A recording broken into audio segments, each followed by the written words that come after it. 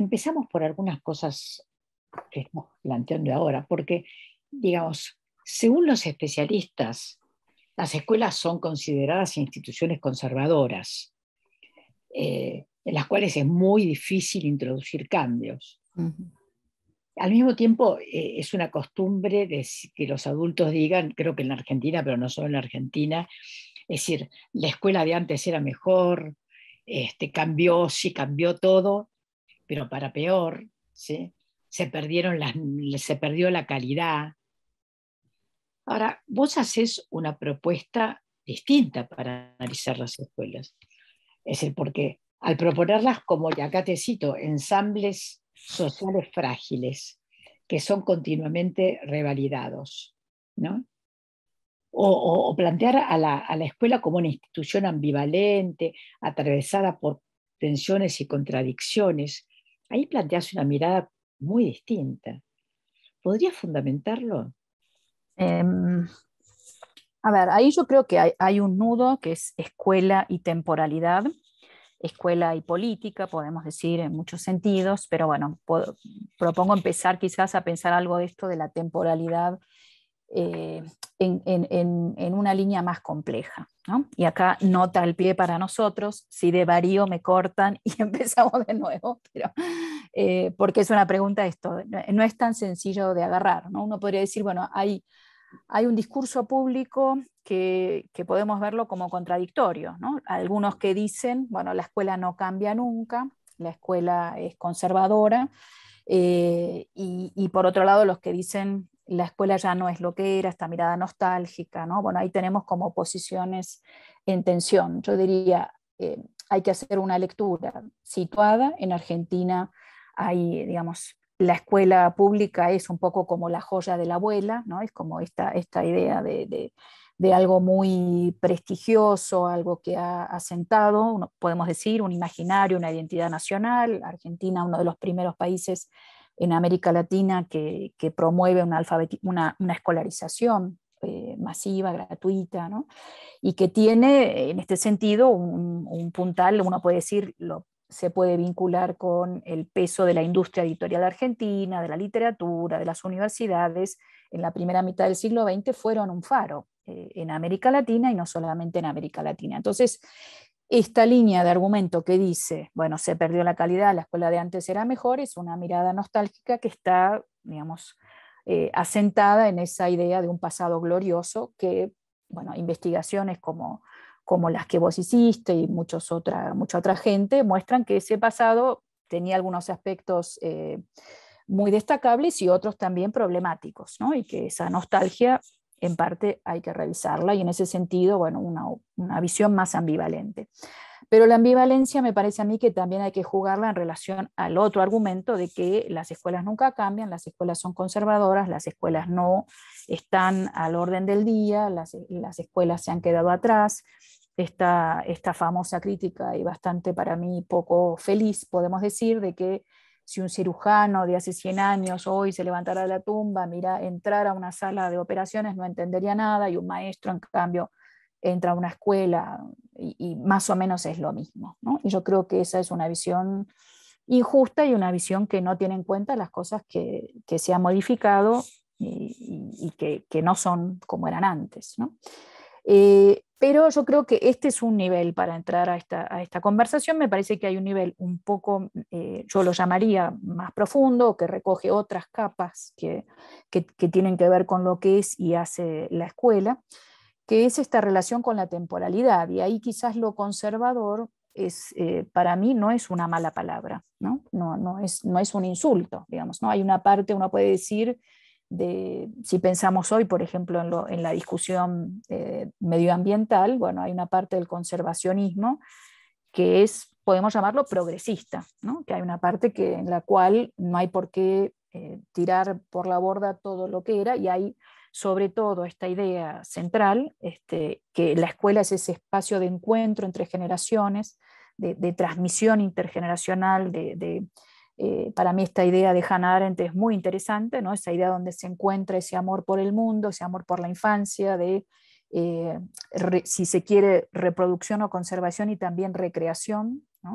bueno, en la cual la conservación para mí, y vuelvo a esta idea de la temporalidad, es una idea muy importante. ¿no? Es la escuela ahí garantiza cierta continuidad intergeneracional y continuidad no quiere decir clonación, reproducción, este, explotación, exclusión, no sé, ¿no? Este, disciplinamiento en el sentido como más clásico, sino quiere decir en todo caso, por ejemplo, ofrecer ciertas claves de lectura del mundo, ciertos sistemas de interpretación del mundo, cierta inscripción en el lenguaje y en la producción de saberes, en las cuales, bueno, se pasa algo y ese algo se recrea, ¿no? Y hay parte que se rechaza, hay parte que se recoge, se redefine en diálogo con otras cosas. ¿no? Entonces, en ese sentido yo diría, bueno, eh, la escuela tiene una parte de conservación de la especie, que es, eh, es, un, es, una parte muy interesante y yo creo muy defendible. ¿no? Y ahí, ahí eh, cierro por ahí para no extenderme, pero podemos profundizar cada una de estas ideas, por ahí hay, hay que profundizarla mucho más. Hay una idea que yo tomo de un historiador inglés, que es David Hamilton, que tiene un texto relativamente reciente y él discute la idea de la escuela como, em, eh, dice, bueno, e, entre pizarrones y este, andamiajes, podemos llamarlo, ¿no? y la idea de, bueno, de cómo generar la autonomía, y hay algo que pasa por esa escena del pizarrón, eh, una tecnología bastante hoy eh, discutida, pero para mí sigue siendo muy interesante, que es ese trabajo colectivo, es esa, esa puesta en común, ¿no? esa producción común de conocimiento y también de construir andamiajes para que haya más autonomía. Sin, sin ese doble trabajo para mí, bueno, cada generación está un poco librada a sus propios recursos. Eh, si, si, la generación más vieja no ofrece no, no, genera un espacio, una situación, una experiencia, una escena, llamémosla de distintas maneras, bueno, ahí hay esa nueva generación está librada a sus propios recursos. Y en ese sentido yo creo que e, este es quizás el, el punto central y el punto que también me parece a mí hace discutir cierta, eh, y acá abro otro, otro tema muy grande, pero ciertos efectos que ha producido las pedagogías socioconstructivistas de poner mucho el énfasis en los aprendizajes, en la acción infantil y descuidar eso que pasa por la responsabilidad de enseñar, ¿no? por, la, por la tarea de enseñanza, que es, bueno, me parece a mí una responsabilidad político y pedagógica de las generaciones eh, más viejas ¿no? respecto a las generaciones más nuevas. Ahora, em, yo después voy a, tengo una pregunta justamente eh, respecto a lo que planteas de la, eh, de la relación entre el andamiaje tradicional y la pantalla. Después, después volvemos. Eh, pero antes me quedé con una cosa, que es, eh, ¿cuáles serían para vos los aspectos problemáticos del pasado escolar en, los sistemas escolares modernos? En particular, digamos, sistemas, los grandes sistemas educativos latinoamericanos. Es decir, porque eh, generalmente la crítica que se hace, eh, sobre todo la crítica que se hace desde eh, los sectores progresistas, no sé, con pensamiento nacional, etc., y en particular en Argentina, tiene que ver con la crítica, con la crítica al pensamiento liberal, al positivismo, a la mirada racista, etc. Pero, y, al mismo tiempo se considera que, eh, digamos, la trama pedagógica ¿sí? de la escuela era muy buena, era muy buena. Eh, ¿cuáles, vos mencionaste aspectos problemáticos del pasado escolar, ¿cuáles serían? Bueno, hay, hay, varios, pero uno que yo diría que tiene que ver con esto de qué mundo se presenta, ¿no? Si, pensamos en esta conversación, este lugar, primero, si se pensaba la escuela como un espacio de encuentro intergeneracional, ¿no? que, que para, para, tomar tu concepto de sujeto pedagógico, qué sujeto pedagógico se proponía, se imaginaba, qué lugar había para resistir, rechazar, reapropiarse de eso que ofrecían las generaciones adultas, podemos decir que en la escuela positivista, liberal, etcétera, o no sé, la escuela de hasta probablemente hasta la escuela que fui yo en los años 70, 80, era una escuela que no, no pensaba en qué pasa del otro lado, qué les está pasando a los chicos, con qué se quedan, cómo esto se vincula con preguntas, intereses, digamos, eso es, una línea, me parece a mí. Me parece que vinculado a esto también es, bueno, qué mundo se presenta, ¿no? ¿Qué mundo se presenta? Y ahí está toda la crítica de colonial, ¿no? Bueno, la crítica de qué saberes se estaban jerarquizando, qué autoridad cultural se construía, qué incluía eso y qué excluía. En, más allá de la crisis, un libro tuyo que es del 2007, ¿sí? Eh, vos señalás que la propia idea del sistema educativo, en tanto eh, institución occidental, eh, se está redefiniendo. Es decir, que en el marco de la redefinición de las instituciones eh, se está dando una redefinición de la educación en la Argentina. ¿En qué pensabas en ese momento? Este, mm, bueno, eh, digamos, yo creo que el, más allá de la crisis está escrito precisamente después de la crisis del 2001 y, me parece a mí que algo de lo que evidencia, por lo menos para mí, no, creo que no solo para mí, la crisis del 2001 es la dificultad de, em, de regulación, de, de configuración más este, nacional del sistema educativo argentino. Eh, y bueno, una crisis muy fuerte de, autoridad política, me parece a mí. Y en ese sentido, si uno piensa esta idea de sistema, cómo se había formulado a principios del siglo XX, para poner alguna fecha, fin del siglo XIX, principio del siglo XX, este momento en el que se organizan las instituciones, se organizan rituales, las leyes, ¿no? como el imaginario yo creo que, eh, fundante al final del sistema educativo argentino. Me parece que en el 2001 queda muy en, en evidencia que eso ya no opera de esa manera, que no tiene esos efectos. Y lo que encontrábamos era en, muchos casos, eh, en, lo que planteaban docentes, directores, estudiantes, una sensación de islas, ¿no? un poco de fragmentación, de arreglate como puedas, de mucho desamparo de un desamparo muy horizontalizado, podemos decir, ¿no?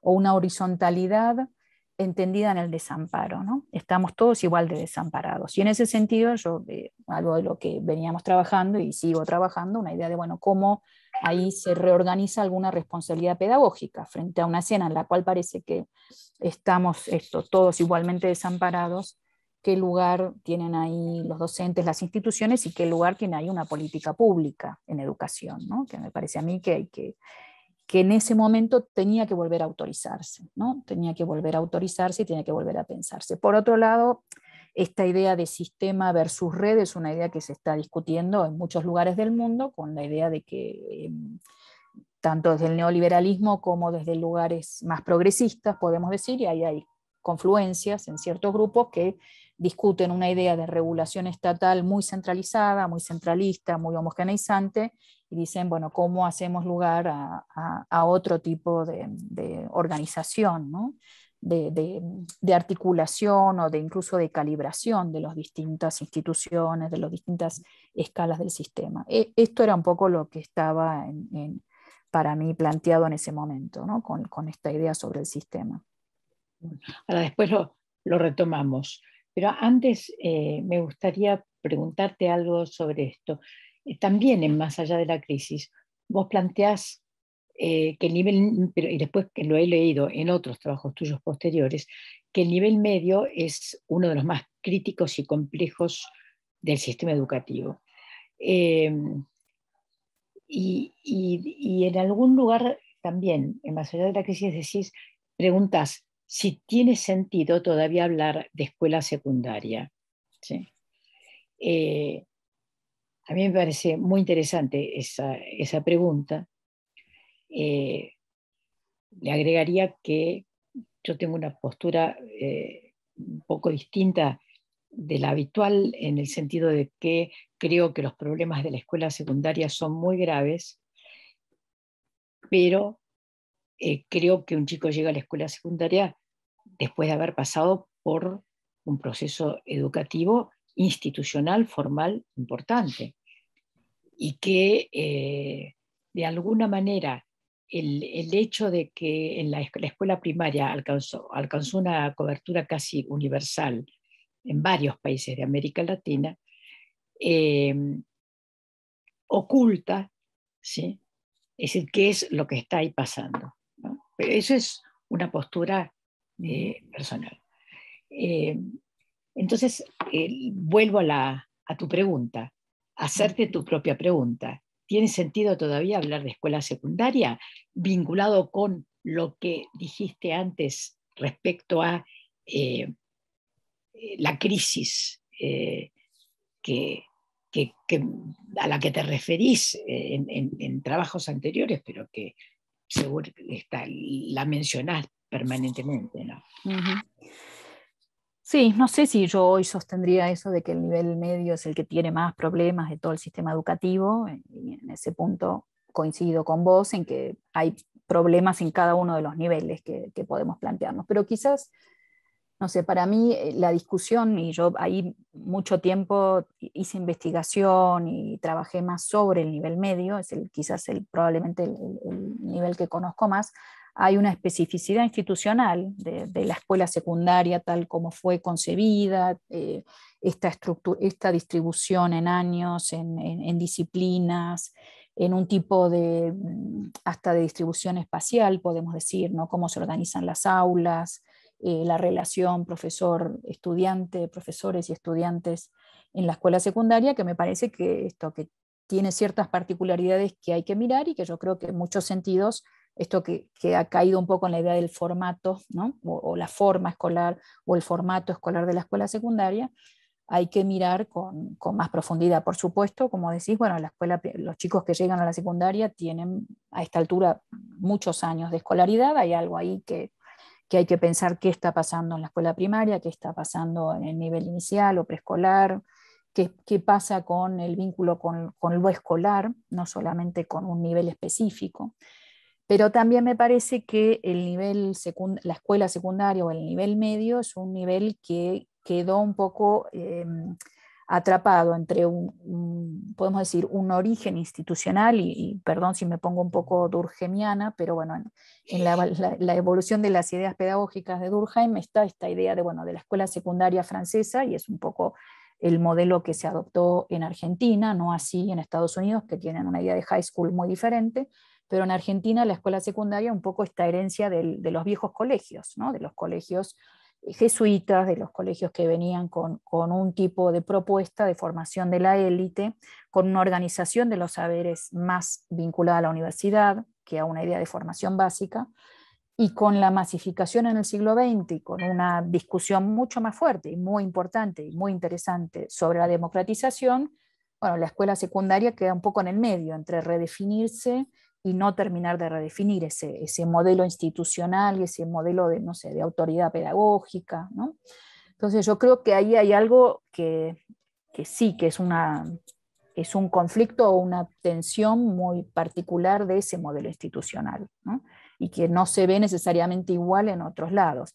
Pienso en digamos, estudios que hice desde ese momento a esta parte, de pensar un poco más, no sé, hace un tiempo tuve que hacer un trabajo sobre diseños curriculares. ¿no? El diseño curricular de Finlandia, que siempre veamos ¿no? como la, estrella lo venden, pero tiene aspectos muy interesantes vinculados a una propuesta de la socialdemocracia de la, europea de la posguerra, de una escuela unificada. ¿no? Y bueno, también podemos decir de una escuela, de una propuesta eh, soviética, de una propuesta de, de la izquierda europea, este, que a mí me parece una propuesta muy interesante, una idea de escuela unificada de 9, 10, 11 años, en la cual hay una eh, relación, una, complejidad progresiva, pero no hay una quiebra institucional como lo hay tan fuerte entre una escuela primaria, en la cual hay uno, dos, tres, cuatro maestros para un grado, una relación mucho más cercana, una discusión, un, trabajo pedagógico diferente, y una escuela secundaria donde a veces tenemos clases muy grandes, profesores que tienen 500, 700 estudiantes por semana, en los cuales el tipo de relación pedagógica que pueden establecer y acompañamiento, trabajo pedagógico con sus estudiantes es mucho más limitado, sin ninguna duda, y hay algo de eso, de ese, no sé, yo recuerdo algunos colegios secundarios en la Argentina tienen 18 materias por semana, un grado de fragmentación enorme, y eso dificulta para mí, y es un, un trabajo con el conocimiento de más profundidad, ¿no? Y, un trabajo pedagógico, ¿no? digamos, no solamente con el conocimiento escolar, ¿no? Una Entonces, en ese sentido, para mí hay algo para pensar respecto al nivel secundario como modelo académico, curricular, institucional, ¿no? y, que, hay que pensarlo hoy. ¿sí? ¿Y, en México? ¿Y la secundaria mexicana? La secundaria mexicana tiene una estructura diferente, tiene una estructura, digamos, hay, acá la secundaria es eh, los grados 7 a 9, en ese sentido eh, es una secundaria inferior, la prepa, el quiebre más fuerte en este momento en el sistema educativo mexicano está entre la secundaria y la, la escuela media superior, ¿no? que es quizás mm, en su organización institucional más parecida a la escuela secundaria argentina. Bueno, es difícil hacer esas comparaciones, pero yo diría la escuela secundaria en México es una escuela que serían esto, ¿no? los, los grados que siguen inmediatamente a la escuela, eh, a la escuela primaria.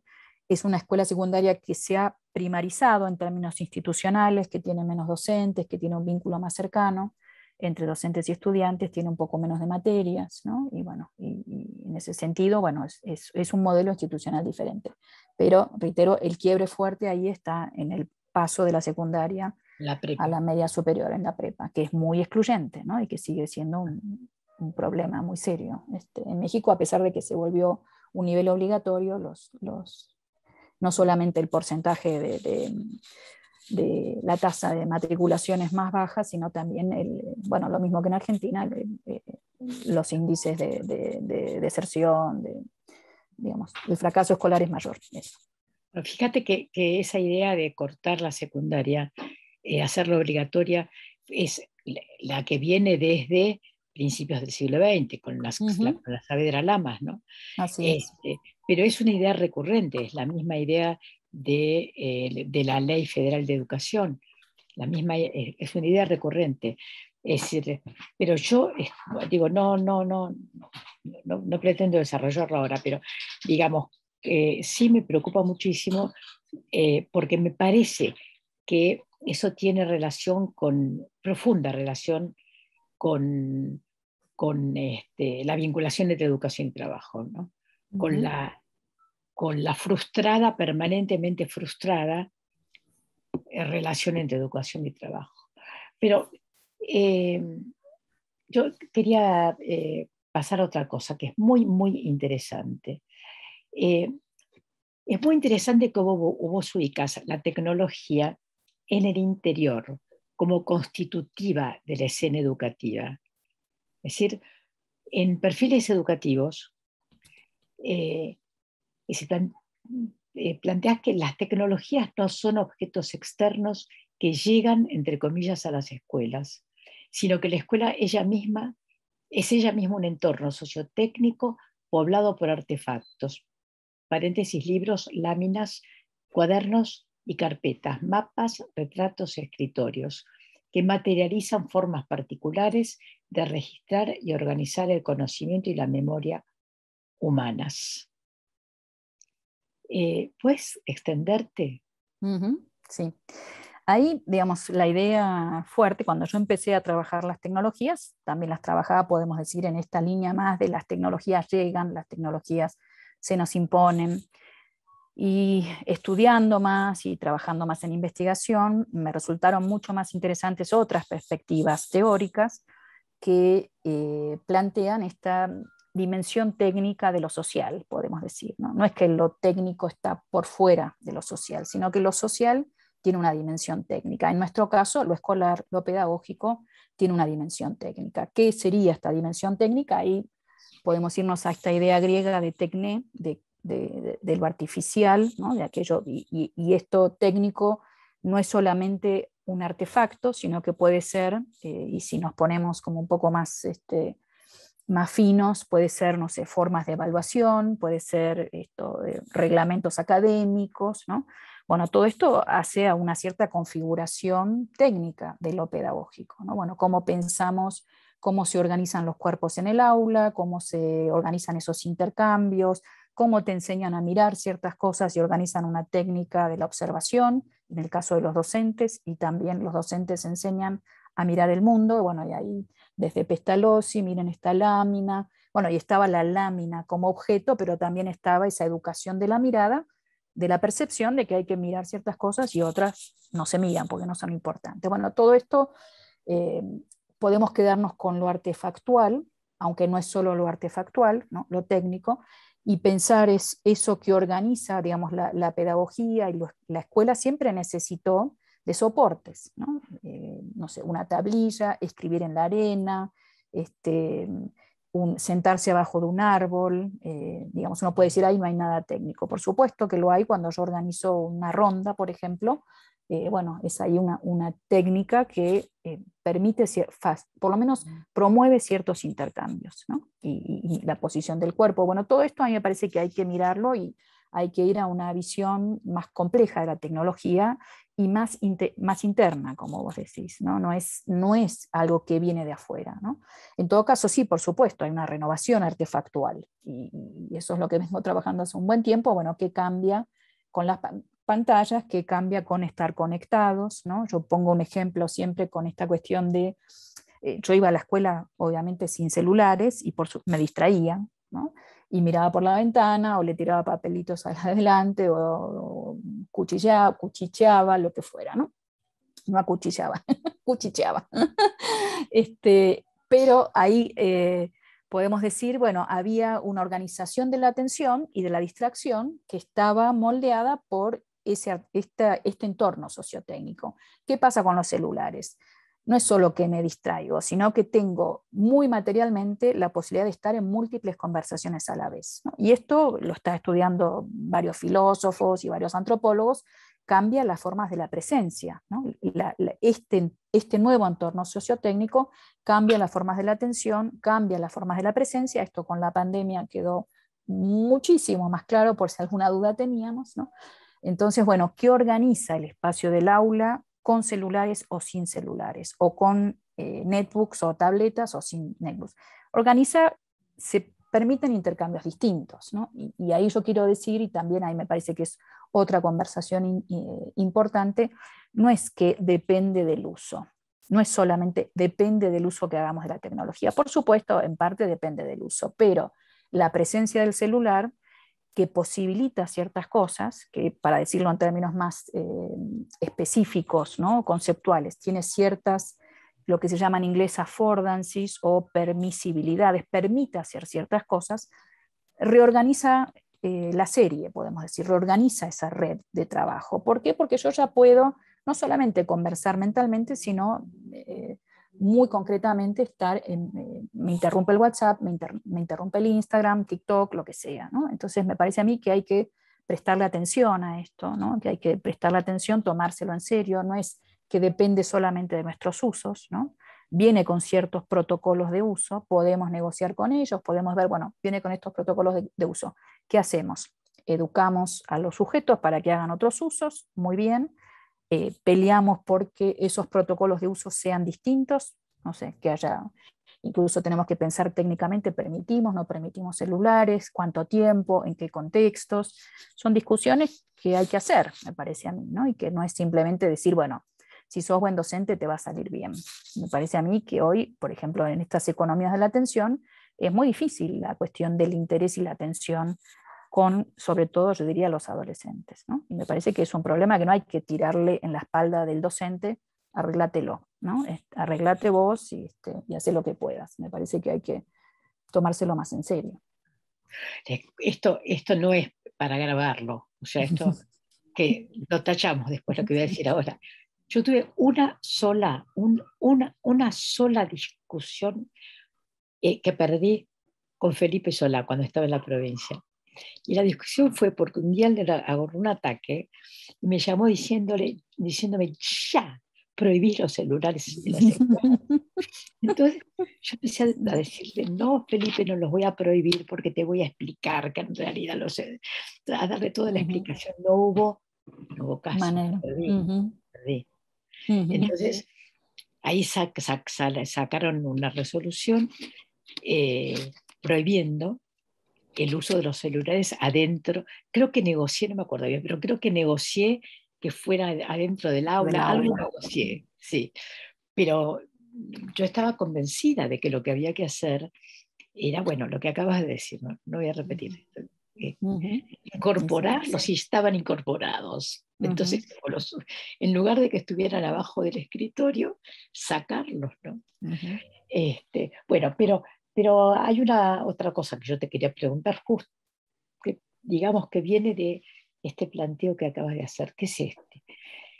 Eh, la vinculación de la tecnología con la educación produce efectos discursivos, produce un efecto discursivo, o sea, penetra, eh, modifica eh, el, momento inicial del vínculo pedagógico, por ejemplo, la, penetración de la tecnología.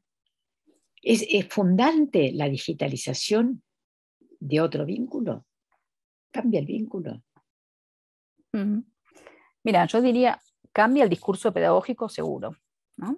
Eh, digo, eh, la presencia de la tecnología digital ha impuesto, y yo creo que también hay que pensarlo de manera no ingenua, aquí hay, hay grandes actores, ¿no? hay, actores muy poderosos que están promoviendo la digitalización de todos los aspectos de la vida y bueno, que tienen este, eso, que muchas veces además entran vía el discurso de los usuarios, ¿no? Bueno, esto eh, yo en las investigaciones que hago a veces son los chicos los que dicen, yo quiero que usemos YouTube porque eso es más didáctico, me dicen los chicos de 12, 13, 15 años.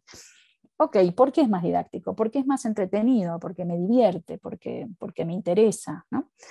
Este, bueno, digo, ahí ya hay un, un, discurso pedagógico en la sociedad que la escuela recibe, que tiene que, la escuela por ahí es muy grande, pero bueno, el sistema escolar, el sistema educativo recibe, tiene que hacer algo con eso, hay todo lo, lo que yo y otra gente llama la retórica de, la inevitabilidad del cambio tecnológico. ¿no? Bueno, esto es inevitable, esto está ahí, ya hay que hacerlo. ¿no? Me parece que este es un efecto, de que, este, que, es un efecto que, bueno, que yo creo que hay, que hay que mirar. Pero me parece que tu pregunta apunta a otra cosa, que es, bueno, ¿qué, qué produce la tecnología en el vínculo pedagógico? Y, y pensando, por ejemplo, en un aula, y esto que decíamos antes de los celulares. Eh, yo creo que sí, que cambia el vínculo pedagógico en la medida en que trae otras cosas a la conversación. No necesariamente esto es malo ni es bueno, no sé. Ahí, es donde entraría un poco más esto del depende, ¿no?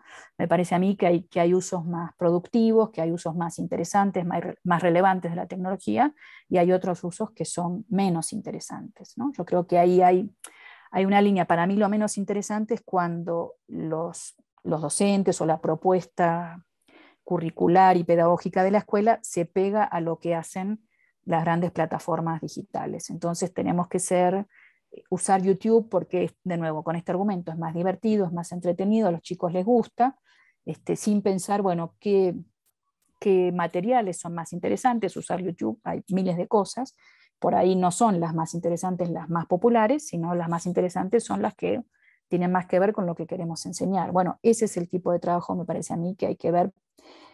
Y, yo diría que, el punto en el que debería eh, eh, trabajarse más es convertirlo en objeto de estudio. En vez de decir, bueno, este es un, es un recurso más, así como antes usaba el libro, ahora uso YouTube. Bueno, así como antes eh, hubiera estado bueno que discutiéramos qué era un libro como, como formato ¿no? de la cultura, como material, lo que permitía, lo que expresaba, lo que dejaba fuera, en algunos casos se hacía, en otros no. Bueno, lo mismo con YouTube y me parece a mí que esto es todavía más urgente que con los libros porque es una forma cultural y tecnológica que se impone mucho, ¿no? Entonces, de nuevo, ahí eh, tomando, estoy como quizás yendo demasiado rápido y si querés profundicemos, pero esto no es para que lo escribamos, pero em, pensaba, por ejemplo, una de las cuestiones que yo estoy estudiando ahora, que me interesa mucho, es el tema del humor, ¿no? porque aparece eh, los chicos dicen, bueno, esto específicamente con los videos de TikTok o de YouTube, eh, estamos haciendo una pequeña investigación, un tesista mío acá y una colega en Argentina, cómo se está usando YouTube para enseñar. Y lo que los chicos dicen es, bueno, en general nos, pasan un video, pero a mí lo que me interesa, dicen los chicos, es que sea corto, si es más de 10 minutos no lo veo, y que sea gracioso. Entonces vos decís, bueno, cualquier contenido eh, de la cultura tiene que ser gracioso, cualquier contenido de la cultura tiene que ser corto, ¿no? Esto no implicará una simplificación enorme, una estandarización muy fuerte de los géneros, de los formatos, de los lenguajes. Y, en relación específicamente al humor, cuando el tema de lo gracioso viene siendo un tema, yo me acuerdo de una investigación que hicimos 2009-2010, y ahí ya los chicos decían, yo miro, ¿qué haces en Internet? Miro videos graciosos. ¿Y cómo definís que es gracioso? Yo pongo videos graciosos y lo que me aparece, bueno, ¿y qué eran las cosas? Eran bloopers, ¿no? Era en ese, en ese momento Tinelli, ¿no? Este, burlas, la parodia.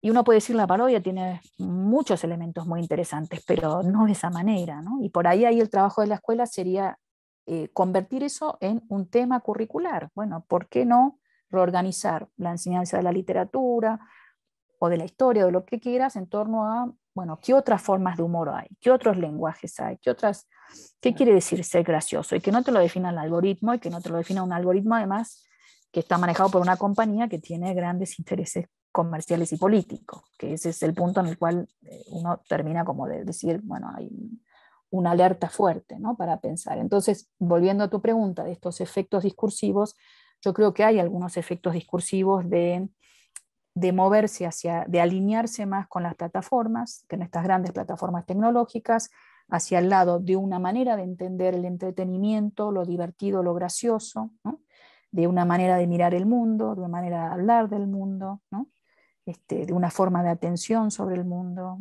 por mencionar solo algunos, y me parece que esos son efectos que hay que trabajar, que, si, que si delegas todo eso en las plataformas, vamos a ir para ese lado y bueno, formas más complejas de conocimiento o formas más marginales de conocimiento van a terminar totalmente olvidadas. ¿no? Y creo que ese es un, no sé, si pensamos en, lo, en la discusión que por otro lado viene dándose sobre distintas epistemologías, la pluralización de la epistemología, viene el algoritmo y te lo destruye, porque quedas en el número 100 de la búsqueda, ya nadie te vio. ¿no?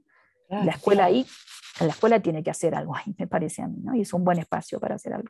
Bueno, ahí es interesante lo que, vos pones en duda, eh, la eficacia de las actividades digitales, es decir, en el estímulo de la creatividad, este, y mencionás una posible automatización y delegación del saber, en los algoritmos, ¿no?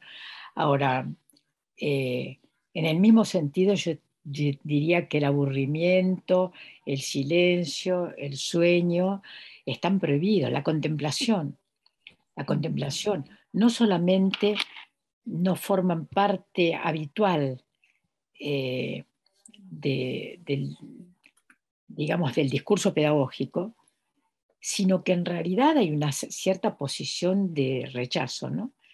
Es decir, eh, y hay eh, simple, me acuerdo las declaraciones de, creo que era el presidente de Amazon, que siempre repito la misma, anécdota, pero lo que pasa es que es fantástica, que estuvo hace creo que dos años que, estuvo acá en la Argentina y que dijo, eh, alguien le preguntó, bueno, ¿cómo está la competencia eh, de ustedes con Microsoft, con los cinco grandes?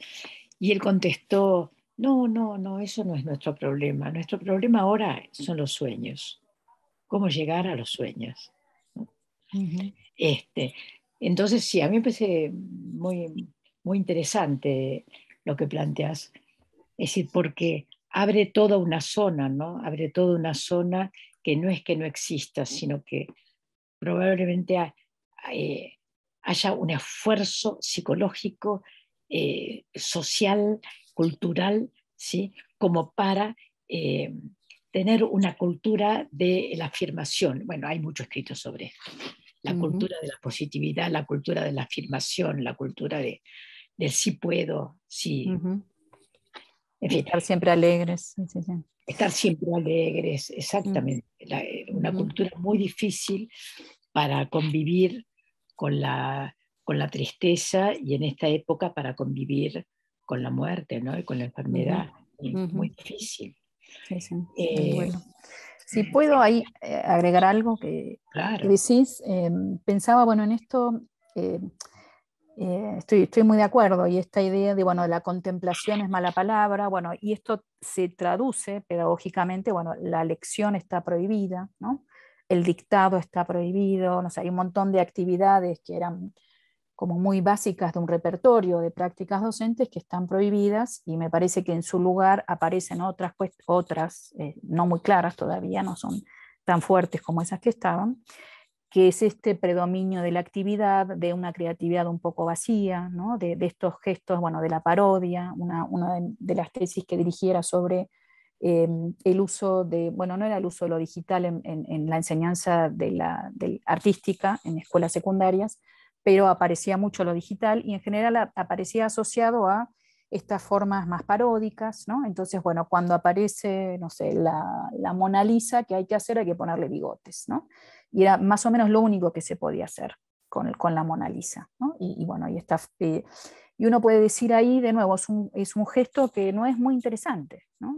es un gesto que, de nuevo, ¿qué, ¿qué, tipo de conocimiento, qué tipo de desafío intelectual hay en eso? Es más bien una repetición muy mecánica de, de algo que ya está muy instalado en la cultura.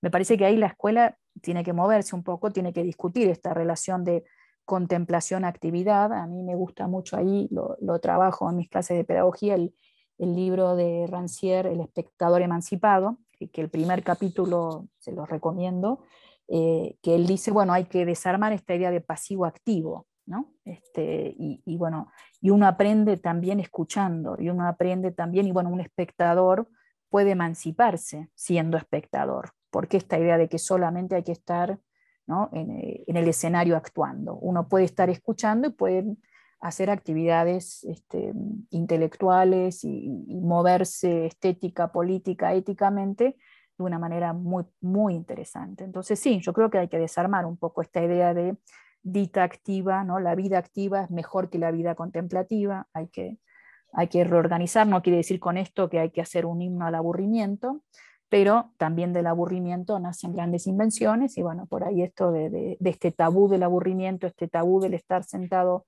escuchando, me parece que hay que rediscutirlo.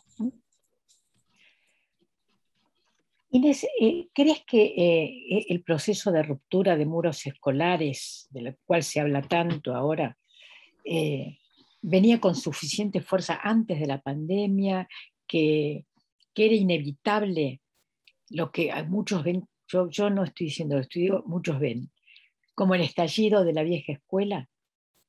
o bien que la, pandemia aceleró este proceso eh, y, puso, le dio nuevos significados. Es decir, ¿cómo es eso? Mira, por un lado yo diría, yo escribí en el 2016 un, ensayo que llamaba Notas sobre el fin del confinamiento escolar. Y dije, bueno, y ahora lo volví a trabajar en un curso en la pandemia, me decían, pero ¿cómo? ¿Vos ya sabías? Y digo, no, no, con esta idea de, bueno, esta idea del encierro, esta hipótesis del encierro, una hipótesis que ya se venía formulando, pero eh, que tiene, digamos, yo creo, un, representante importante en la propuesta, en, la lectura de Foucault, ¿no? de, Michel Foucault de la escuela, con esta idea, bueno, la escuela es un espacio de encierro o de confinamiento de los cuerpos, en inglés se dice así, confinement, ¿no? este, el confinamiento de los cuerpos. Entonces, esto ya estaba en discusión y con las nuevas tecnologías y las nuevas formas de arquitectura escolar, en ese ensayo yo revisé propuestas de nuevas arquitecturas escolares y en general lo que planteaba era un estallido del aula. ¿no? todos los espacios de la escuela tienen que ser productivos, los pasillos tienen que ser aula, los patios tienen que ser aula, todo enseña y las aulas tienen que no parecerse a las aulas. Esto estaba en discusión en la arquitectura escolar desde los 90, 2000, 2010, y en un sentido de que había algo malo con eso, había algo malo con tratar de encerrar en un espacio-tiempo determinado a los niños, esto les hacía mal a los chicos. Entonces, lo que, lo que produce la pandemia, no puede decir, es una especie de, de poner a prueba alguna de estas hipótesis. ¿Qué pasa cuando no tenemos ese espacio-tiempo suspendido que es la escuela y tenemos que dar clase desde los hogares? Y ahí, bueno, pasaron muchas cosas. Yo creo que además hay que hacer también lecturas más específicas, porque, por ejemplo, en Europa, en algunos de los casos que yo sigo, porque tengo colegas, amigos en Bélgica, en España, en Finlandia, hay una revalorización del espacio escolar, diría. No hay un, eh, digamos, este, este ensayo en todo caso no salió como querían aquellos que decían basta de escuela, ¿no? sino más bien hay una idea de que la escuela es importante como espacio otro, la escuela es importante como un espacio que produce ciertas cosas por el estar juntos, incluso, y esto también se está viendo en Argentina, lo veo eh, en, los hijos de mis amigos, en mi sobrino, etcétera, tienen ganas de ir a la escuela. Y se dan cuenta de lo importante que es ir a la escuela para estar con otros chicos, para salir de su casa, ¿no? como espacio de autonomía, y también los padres dicen queremos un rato sin hijos, ¿no? un rato también de autonomía parental, podemos decir, respecto a los chicos. Entonces, me parece a mí que, eh, digamos, estoy haciendo una respuesta por ahí, para, yéndome quizás para otro lado de tu pregunta, pero, pero yo diría, hay algo ahí para pensar respecto al encierro, al confinamiento, a lo que es la escuela, a la necesidad de un espacio-tiempo ¿no? diferente, Ahora bien, yo diría, no en todos los lugares esto está funcionando de la misma manera, no, en todos los lugares está pasando lo mismo. ¿no? Y ahí si tomo el ejemplo de México, es, eh, en México todavía no se volvió claramente a la escuela, hubo algún ensayo, digamos, van 18 meses de pandemia, no se volvió claramente a la escuela y todavía hoy se está discutiendo si se regresa con el nuevo ciclo escolar que empieza el 30 de agosto. Y hay una resistencia fuerte en las familias a volver a la escuela porque hay mucho miedo, podemos decir. ¿no? Hay mucho miedo de usar el transporte público, hay mucho miedo de contagiarse, hay mucho miedo de lo que eso significa y uno puede decir, bueno, ese miedo en este momento supera al valor que se le da a la experiencia escolar. Y para mí algo dice, no respecto a la escuela en general, sino respecto a este vínculo escuela, comunidad, escuela, territorio, en muchos lugares de México en los cuales no está eh, para mí tan fuerte ese valor de la escuela. Y quizás los chicos no tengan el mismo, la voz de los chicos no tenga el mismo peso que en otros lugares del mundo donde sí parece tenerlo, diría yo. ¿no? Y me parece que ahí hay, hay cuestiones eh, bien complejas ¿no? que hay que analizar más más específicamente. Por otro lado, por supuesto, creo que hay que pensar en casos como México en la falta de una red, digamos, en, décadas de desinversión, en la falta de una red de protección. Entonces, para las familias que trabajan, y este, este es el caso más fuerte, diría yo, los sectores que más están resistiendo a volver a la escuela son los sectores que trabajan en, el, en, el, mercado informal, que necesitan salir todos los días a trabajar. Y si no salen a trabajar todos los días, a vender en la calle, no pueden vivir. Bueno, frente a eso, la escuela tiene un rol menor. Y si el Estado no puede garantizar que van a tener acceso a la salud, que van a tener acceso a algún ingreso mínimo, bueno, entonces la escuela eh, no, está en las prioridades. ¿no? Y me parece entendible, por supuesto. ¿no? Entonces, si uno piensa en Europa, hay condiciones muy diferentes, ¿no? hay condiciones de protección social muy diferentes. Bueno, en América Latina también estamos viendo algo de esto. Y último ejemplo, diría en Estados Unidos, que es otra situación, pero también se ve algo de esto y tiene que ver con un peso muy fuerte, de, una fractura social muy fuerte para mí, ¿no? También, y de estos lugares de lo público en la cual finalmente, bueno, esta idea de, ir a un espacio público, de estar con otros, es una idea que no es igualmente valorada este, por muchos sectores, ¿no? Y me parece que la escuela... Eh, condensa muchas de estas, no sé cómo decirlo, de estas líneas, de estas dinámicas sociales, ¿no? y que lo que está pasando con la escuela hoy en pandemia habla, es, es un buen analizador respecto a lo que pasaba antes, ¿no? al lugar de la escuela antes. Este, y espacio-tiempo se atraviesan con eso, por supuesto. ¿no? Sí, este, yo tengo una, una pregunta corporativa que ahora la voy a plantear. Después por ahí Ignacio, si vos querés preguntar algo, pasaríamos a, unas tres preguntas más que tengo, pero que son, que son sobre el pasado y el futuro. Ahora, mi pregunta corporativa es la siguiente. Eh, desde este proceso ¿no? de, de penetración lo voy a decir rápidamente, de, penetración de la tecnología en la cultura, en la vida social, en, la escuela, este, que podemos discutir largamente cuándo empezó, cuánto, cuándo, cuándo empezó, eh, cuándo realmente fue penetrante, ¿sí? ¿Cuándo, cuándo realmente empezó a ser penetrante, que si la pandemia es un punto de, es un hito eh, cualitativamente importante.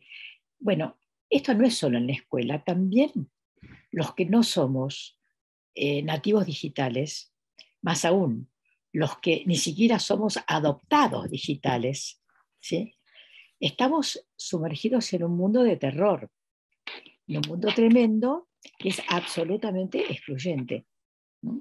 Y que yo lo, tengo últimamente, lo tengo como, como, como, es mi última bandera de lucha. Esto no lo vamos a poner en, escrito, pero bueno, es esa. Eh, entonces, eh, digamos, que, ¿cómo ves que afecta eh, al conjunto de las sociedades? No, no, no conjunto de todas las sociedades, sino al conjunto de la sociedad, si no solamente a la escuela. esta transformación en donde la, pantalla, si en la escuela la pantalla, como vos decís, termina reuniendo al pizarrón, a la ventana, al, al claro, este, eh, el formulario a través del cual uno tiene que entrar a cualquier institución público o privada, ¿sí? sintetiza desde el momento en que uno sube al colectivo, baja, eh, llega a la institución, lo entiende un empleado, se pelea con la empleada, discute, lo orientan, además se sentó a esperar, lo llaman y habla con alguien. Este, ¿Cómo ves eso? Em, bueno, en un punto yo creo que eso no tiene vuelta atrás, me parece a mí. En todo caso, si tiene vuelta atrás va a ser por una discusión fuerte en la sociedad de que hay aspectos que no queremos que estén mediados por lo digital. Y habrá que ver si la escuela no es uno de, estos, de estos lugares.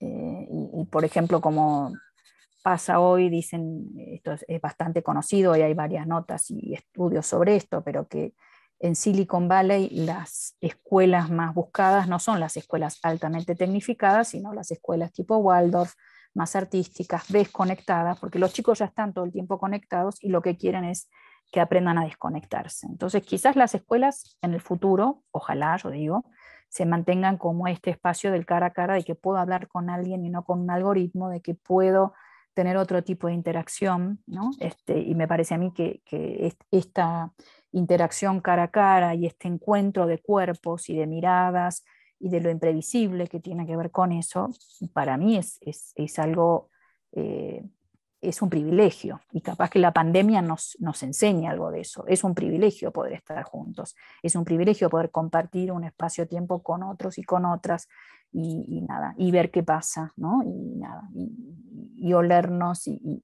qué pasa en otras cosas, ¿no? Me parece a mí que eh, ojalá, esta es mi, mi, parte optimista, diría, bueno, quizás la pandemia al revés, ¿no? Permita revalorizar la importancia de ese encuentro de cuerpos, ¿no? de, ese, de ese compartir un tiempo no programado. Esto por un lado. Diría por otro lado, me parece a mí que es indudable que lo digital está avanzando, ya venía avanzando muchísimo, no, no todos le prestábamos igual atención, pero ya venía avanzando muchísimo desde de cuando empezó, es difícil decirlo, pero yo diría claramente desde el año 2000 eh, y 2010 más todavía, si uno mira, no sé, hay, un, yo trabajo con, eh, cuando doy clases con algunas estadísticas, de un sitio que se llama Internet in a Minute, ¿no? que, que, además voy, voy compilando las estadísticas de qué se hace en Internet en un minuto, y si uno agarra de 2010 a esta parte, lo que sube la interacción, cómo van cambiando las plataformas, hacia dónde van, es muy interesante mirar esto, digamos, porque de nuevo lo digital también se va modificando, no es que lo digital está ahí, lo digital hoy es muchas otras cosas, esto hay muchas más, como, como vos decías de lo de, de Jeff Bezos, bueno, hoy avanza sobre los sueños, hoy avanza sobre el espacio, hoy avanza sobre todo lo que puede, ¿no? Y si lo dejas, obviamente sobre la sexualidad ya avanzó hace mucho tiempo, este, sobre la amistad, sobre los, el espacio del conocimiento, sin ninguna duda. Em, yo creo que ahí la, pandemia está marcando un hito, de, un salto ¿no? en esa dirección. No sé si es un salto cualitativo, pero seguro es un salto cuantitativo, porque lo que está haciendo es llegar a muchos otros espacios que antes no llegaba. Yo trabajo en temas digitales desde hace mucho tiempo, mi sensación es que en el 2020 empezamos a trabajar por primera vez con aquellos docentes que se habían mantenido al margen y que ahora se dieron cuenta que ya no que necesitan saber algo de lo digital porque se les impuso. En ese sentido, sí, es un salto cuantitativo cómo cambia nuestra vida, yo creo que tampoco somos del todo conscientes. El otro día estaba escuchando un podcast, últimamente estoy escuchando podcast y la verdad que me, me fascinan, digo, estas son las partes buenas de lo digital. Tenés acceso y además ahí lo que trae de la voz, por ejemplo, a mí me encanta, estoy ahora escuchando un podcast de entrevistas a, historiadores del cine y entonces nada, mientras cocino escucho esto y me gusta, uno puede decir hay un problema también porque ya no perdes el tiempo, estás todo el tiempo haciendo cosas, pero bueno, a mí me relaja, me gusta y escuchar la voz es muy distinto de leerlos, ¿no? Digo, y ahí hay algo que, trae del cuerpo que hay que pensar, también lo digital en este sentido de que trae las imágenes como las tenemos ahora, que trae la voz, hay una manera no es necesariamente tan distante, ¿no? Digo, hay cuerpo, por supuesto, en lo digital, ¿no? Hay cuerpo y el cuerpo aparece de otras maneras, no de la misma manera que si estuviéramos en el mismo tiempo-espacio, pero, este, bueno, o estamos en, un mismo tiempo-espacio, que es otra cosa que, si estuviéramos eh, en, la misma sala, podemos decir, ¿no? Pero ahí pensaba, en, los podcasts que escuchaba, había una cosa que a mí me sorprendió mucho, que era una historia del de la música latina, ¿no? Y si uno mira los números, por ejemplo, de la música latina y empezando, no sé, por Despacito y el trap y el reggaetón y etcétera, eh, decían una estadística que me impresionó muchísimo, en YouTube, de las 10 cosas más vistas, 7 son reggaetón, este, pop latino, etcétera. Digo, la importancia que está teniendo eso en cambiar estéticas, gustos, digo, de 17 son latinas, ¿no? Yo no tenía esa conciencia de que les gusta en Asia, que no sé, digo, hay, hay cosas que, que por supuesto cambian el mundo, eh, ojalá que te conecten con otras experiencias, ¿no? La, la, relación que tienen los chicos, no sé, eh, yo en casa hago un poco este ejercicio de, bueno, ahora, por ejemplo, con, con la caída de Kabul y Afganistán, les preguntamos a las chicas, bueno, y a vos te llegó por tus redes sociales y cómo te llegó, ¿no? Bueno, qué sé yo, se enteran, yo antes, yo leo el diario, sigo leyendo el diario, ellas no leen el diario, se enteran por ahí. Bueno, ¿cómo se enteran? Digo, también hay una conexión con el mundo este, que tiene su parte, me parece a mí, interesante, ¿no? Y que, que hay que discutir en todo caso que sea más democrática, que sea más plural, que no sea gobernada por las grandes, em, por GAFAM, por las grandes empresas, ¿no? Google, Amazon, Facebook, Apple y Microsoft, sino realmente discutir esto, este gobierno internacional de, de, las grandes corporaciones, pero me parece a mí también hay aspectos ahí muy, muy interesantes para pensar. ¿no?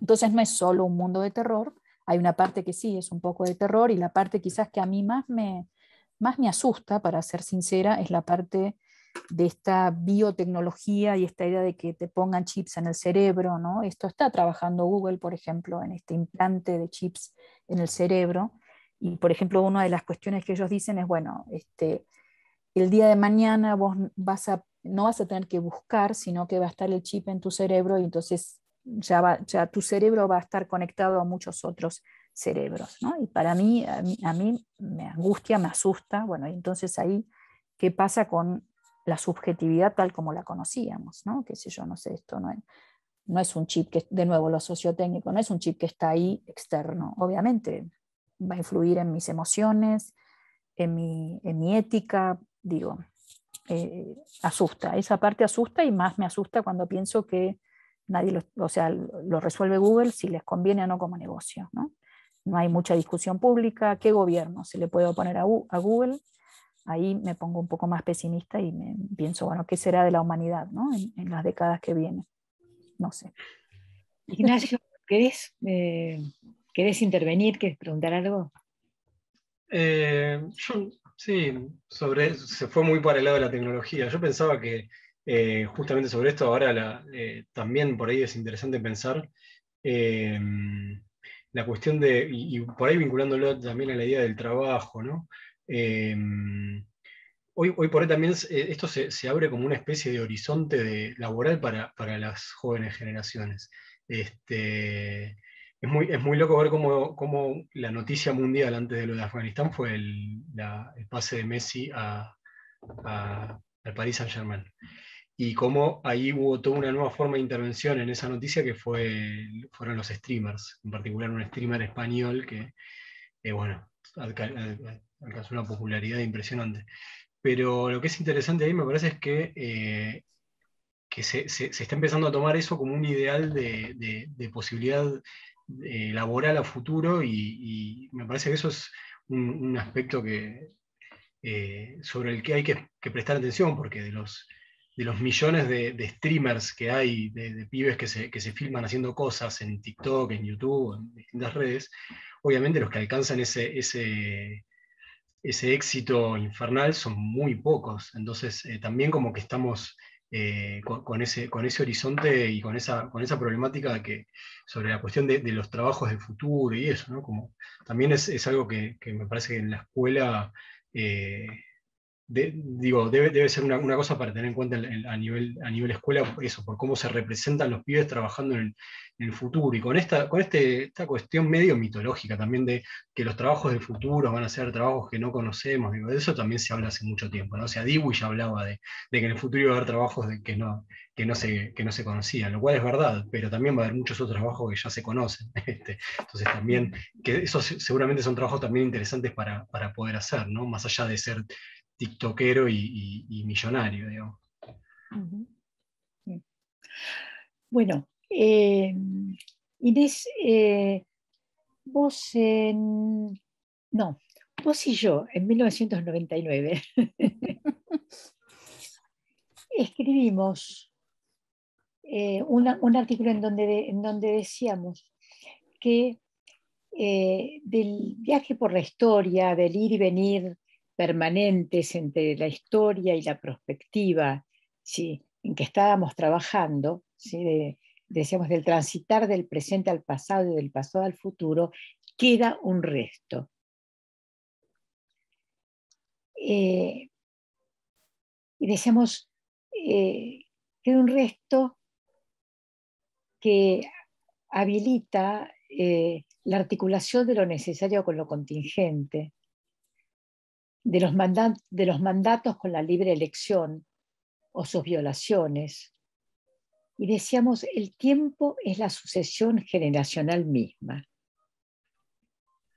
Eh, a mí lo que me interesa sobre todo es lo del resto. O sea, ¿qué pensás sobre eso? O sea, ¿queda un resto? Eh, sí, a ver, yo ahí la formularía justo estos días había leído un, texto que me gustó mucho de, un historiador del arte, que es eh, George Didi Uberman, que, escribe de todo, es, muy prolífico, pero ahora escribió un, ensayo breve sobre el tema de los refugiados, y se llama Pasar cueste lo que cueste. Y dice, él dice, bueno, toda historia transforma a la que la precede, pero ninguna historia se termina por la sencilla razón de que lo que viene después es asediado, para bien o para mal, por su propia memoria.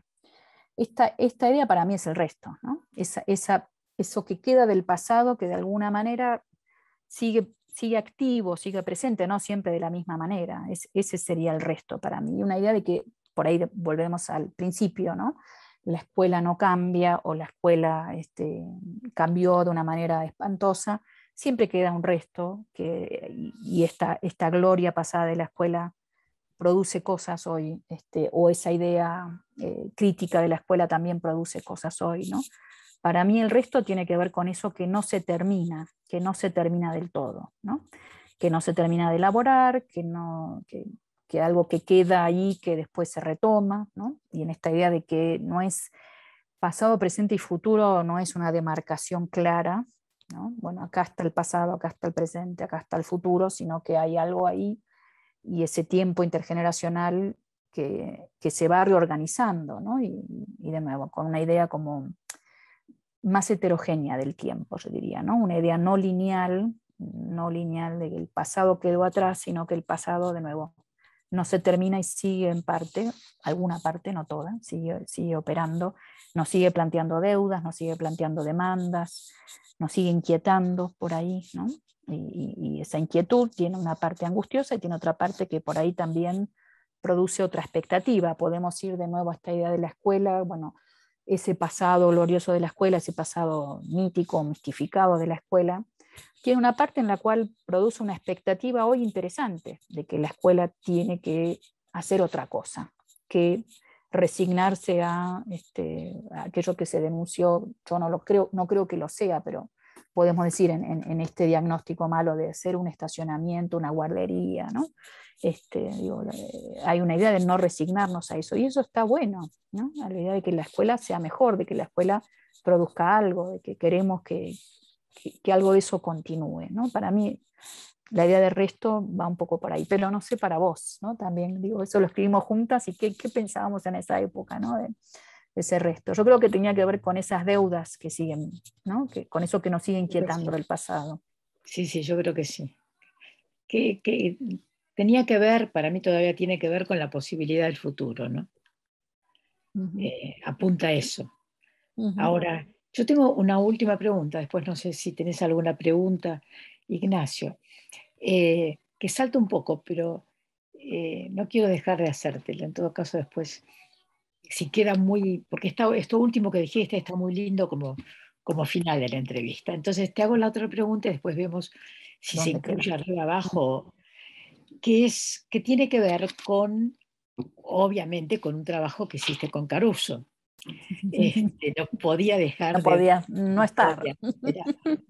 no, podía. Este, que es la invención del aula, que es del 99. y, y, entonces ahí ustedes hablan eh, de, de, que la educación requiere la configuración de un espacio específico, algo estuviste ya hablando ahora de eso, pero empiezan a hablar del tema de los cuerpos, ¿no? O sea, de que esa configuración incluye los cuerpos, porque una cosa es hablar de la configuración del aula, espacio externo, ¿sí? y de la tecnología y el aula, y otra cosa es la inclusión de los cuerpos. Entonces, la pregunta, que la, la, que yo pensé, venía vinculada con el tema de la pandemia, ¿no? O sea, con qué efectos produce la pandemia o si produce efectos en la, en la situación, no, no, no, el sitio, sino la situación de los cuerpos en la configuración del discurso pedagógico, ¿no? Eh, en realidad es la configuración del discurso pedagógico. Em, ahí pensaba, bueno, creo que cuando trajimos el tema de los cuerpos en la dimensión del aula, tanto Marcelo como yo estábamos ya leyendo a Judith Butler, a las feministas, ¿no? y bueno, tiene mucho que ver con, esta discusión de la filosofía em, política feminista de bueno, estos cuerpos que importan, ¿no? o importan los cuerpos, podemos decir. ¿no? Este, eh, traer a la pedagogía eh, y, por eso también mi, tesis doctoral sobre los uniformes escolares y poder pensar, bueno, qué pasa no solamente por lo que se verbaliza, sino también por lo que se muestra, por los gestos, por lo que se comparte en un tiempo-espacio, ¿no? Eh, por lo que se hace visible o tangible. Bueno, todo este tipo de cuestiones, eh, creo yo, para nosotros emerge en ese momento eh, y, también por eso la invención del aula es eh, la intención fuerte es como correrse un poco de la historia de las ideas pedagógicas a poder pensar una pedagogía con cuerpo, con espacio, con materialidad, con, eh, discursos, con discursos que son también materiales. ¿Qué pasa con la pandemia o qué, qué produce la pandemia en esta situación de los cuerpos? Yo creo que produce muchas cosas y bueno, hay muchas cosas que, recién estamos empezando a ver y que, habrá que seguir viendo. Uno podría decir, eh, yo veo dos efectos por de pronto, pero, pero seguramente hay muchos más, ¿no? Estoy como observando esto que está pasando. Hay una tendencia a encerrarse más, hay una tendencia en aquellos que pueden, ¿no? a más miedo, a, más temor, a esta visión del otro como amenaza, ¿no? de la amenaza de en ese sentido puede haber como, como efecto un, cierto borramiento de los cuerpos, un, cierto, y que, también si uno lo vincula a lo digital, yo me acuerdo de una vieja propaganda de IBM en los años 90 que decía, no más cuerpos, no más razas, solo mentes. ¿no? Una idea de que en lo digital, IBM, solo somos mentes. ¿no? Pues pero la mente tiene un cuerpo, ¿no? no es que es una cabeza, que, es la mente. ¿no? Pero hay una idea hay una promesa, yo creo, de que eso uno podía, en esta idea de que no más cuerpos, sino más razas, como una, una promesa de que superaremos el racismo siendo solo mentes, si nos encontramos solo las mentes. Bueno, ahí hay algo que hace sistema, me parece a mí, con este miedo al otro, a la otredad, con este miedo al contagio, con este con esta securitización de la vida, y que, quizás la pandemia termine consolidando o, profundice algo que ya estaba, ¿no? que es el miedo a, la vida en común. y, el miedo al cuerpo, que trae, uno puede decir, algo, quizás más ingobernable o algo que, no controlamos, ¿no? algo que nos muestra la finitud también. Creo que la finitud es otro gran tema. Este, hay también un filósofo político muy interesante, Quentin Mellesu, que él habla, bueno, esta cuestión de la, de la finitud y lo digital que eh, parece que va a superar la finitud, ¿no? Seremos inmortales, seremos esto, ¿no? Seremos solamente inmortales. Y, me parece que ahí hay un, clima de época y un estado de, cosas en este momento que apunta un poco en esa dirección. Pero diría que también quizás la pandemia plantee o revalorice algo y lo que, lo que decía antes, ¿no? esta importancia del encuentro, esta importancia de la mirada, esta importancia de compartir, de un abrazo, ¿no? Creo que todos estamos así como necesitando abrazos, necesitando besos, necesitando tocarnos, ¿no? Este, no solamente mirarnos, quizás aquí hay algo que es en la pantalla que podemos mirarnos un poco, ponele, podemos decir, este, una suerte de mirada, ponele, pero no es la misma mirada que se produce estando juntos y juntas, ¿no? Y esta mirada que va con el abrazo y nada.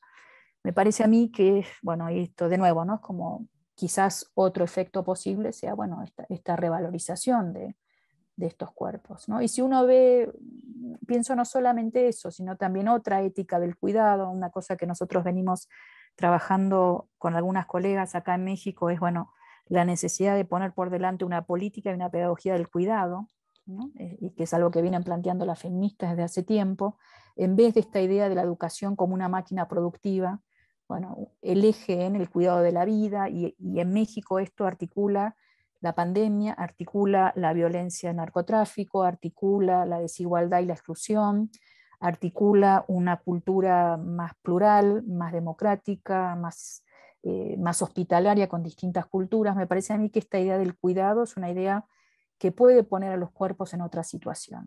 Y pienso en algo, no sé, haciendo un salto fuerte, pero en algo que, pasó en los Juegos Olímpicos, ¿no? y, esto es eh, Simone Biles diciendo, bueno, no puedo, no soy una máquina, me pasan cosas, este, me da pánico, me siento así, me siento así. Hay algo en la cultura que también está marcando en esa dirección, o Greta Thunberg o, u otra gente, ¿no? que están diciendo, ojo, ¿no? hay, que, hay que ir un poco más despacio, hay que cuidarnos más, eh, y hay que revalorizar eh, nuestros cuerpos eh, finitos, ¿no?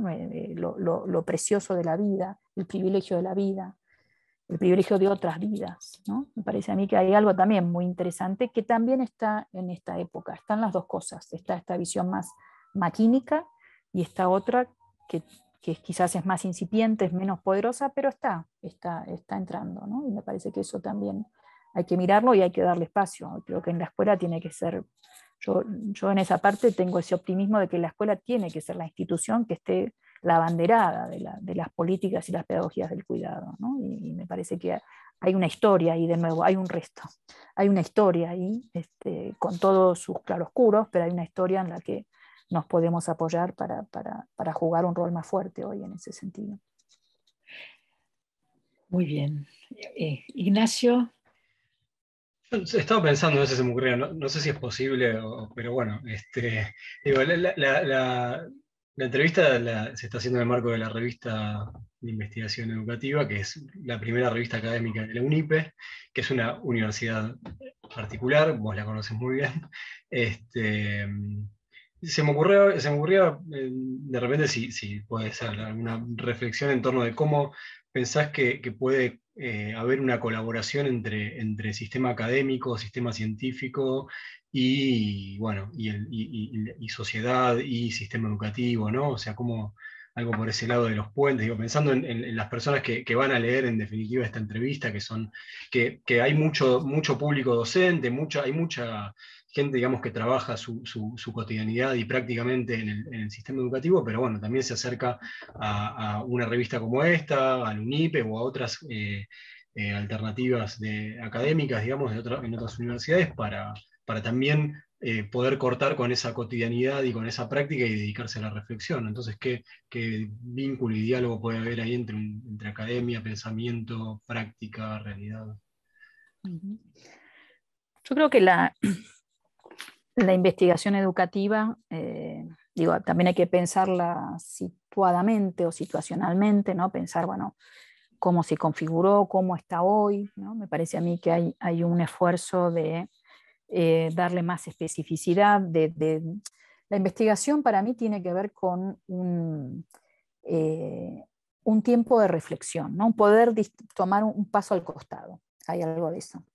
También ahí hay una discusión, en, por ejemplo, ahora en la UNESCO se está armando un nuevo informe y una de las discusiones era esta idea del, derecho a, la investigación como uno de los derechos básicos y esta idea de la investigación no en el sentido de la actividad altamente especializada en un laboratorio, sino como esta posibilidad de tomar distancia, reflexionar, contrastar, poner ciertos lenguajes o conocimientos eh, elaborados en relación con eh, un problema, con, en tu mirada al mundo. Bueno, en ese sentido, para mí la investigación eh, es una actividad central para, armar sociedad y, para armar una sociedad también, yo diría, más democrática. Me parece a, mí también que la investigación, en todo caso, con este, con este tiempo de reflexión, y me animo a decir hasta como actividad más especializada, es un buen contrapeso a, esta cuestión de la posverdad o de la eh, todo vale, ¿no? Bueno, vale el, más fuerte, el que pone más, más plata, o el algoritmo de la popularidad de, las grandes plataformas. Bueno, la investigación ahí está planteando otras jerarquías, otra organización del conocimiento, otra producción del conocimiento. Podemos criticarle muchas cosas, pero es más democrática que el algoritmo. Me parece que está dando cuenta de cómo se produce, es transparente o debería hacerlo respecto a eso, es fruto de una discusión colectiva, de, una acumulación colectiva, también de una conversación amplia, intergeneracional.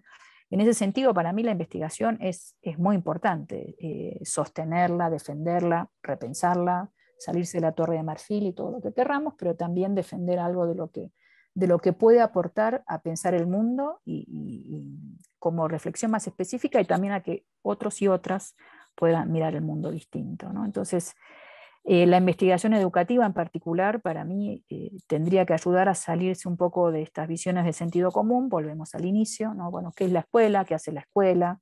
Salirse, ¿no? yo en estos días también bastante conmovida por esta discusión reciente sobre la escuela como estafa o como, como gran simulacro. Yo una de las, estoy ahí pensando si escribo algo o no, pero el título sería la escuela como simulacro o el simulacro de la crítica, ¿no? Me parece que hay algo que parece que es una crítica, pero que la verdad que no se toma en el trabajo de investigar y de pensar la complejidad de los problemas de la escuela, la complejidad de los problemas del trabajo, que también estábamos hablando. Y si Toyota no encuentra 200 chicos, no habrá que pensar un poco más, ¿qué ofreció Toyota? Y qué pasó y, de qué está diciendo. Y Toyota es el único que tiene problemas en otros lugares del mundo, qué pasa con el mundo del trabajo, cómo está cambiando, cómo está cambiando el vínculo con lo escolar. La investigación tiene que aportar en esa dirección y no con eslogans y no con este, esto, ¿no? críticas simuladas, me parece a mí. Entonces, eh, yo creo que ahí hay, hay, hay, mucho para producir y por ahí tenemos que pensar, bueno, qué agendas ¿no? este, puede plantear la investigación, también con temas que eh, también eh, que sean emergentes, no todo tiene que ser lo actual, me parece que también hay que dar espacio para lo inactual, porque no sabemos, de nuevo, con el resto, con la idea del futuro, que no sabemos lo que va a ser, hay que abrir espacio a otras cosas, pero eh, mirando a la sociedad ¿no? y mirando también nuestras tradiciones y mirando para adelante, me parece que ahí es donde hay que pararse como investigadores. Bueno, Inés, muchísimas gracias. Gracias por haber estado hoy en el medio de todo el tema familiar. No, gracias a, la verdad que fue, Ignacio. Fue lindísimo. Este, podríamos seguir, seguir, bueno, vamos a seguir, ¿no?